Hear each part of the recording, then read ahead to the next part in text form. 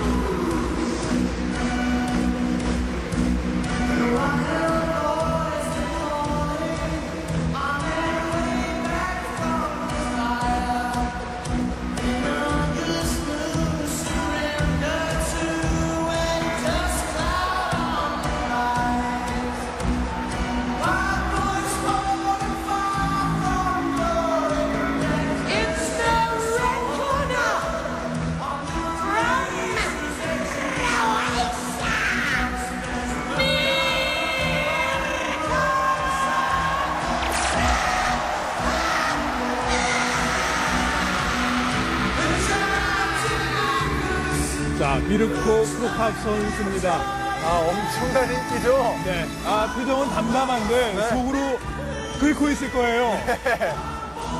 자, 링에 다가서서 효드르 선수의 얼굴을 본다면 또 어떤 표정이 될지가. 궁금합니다.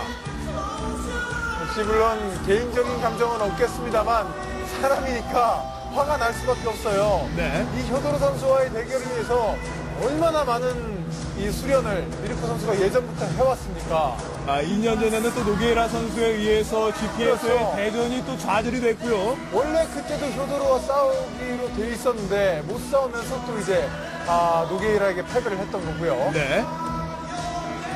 아, 이번에 8월에 오늘 부상이 없다면은 이제 8월 결승전이래 네. 경기를 치르게는 됩니다만 오늘 감정의 기복이 얼마나 심하게 될지 효드르 선수의 표정과 교차해서 지금 잡아주고 있거든요. 그렇습니다. 자, 정말 MMA 역사상 최고의 라이벌 두 명을 지금 카메라가 계속해서 잡아주고 있는데요. 네. 둘 다 사실 인간 최대 라이벌이 아니라 초인 최대 라이벌이라고 부를 수 있을 정도로 이미 인간의 한계를 넘어섰다는 평가를 받고 있습니다. 네. 아, 주먹이 아파서 연습을 못해서 못 나온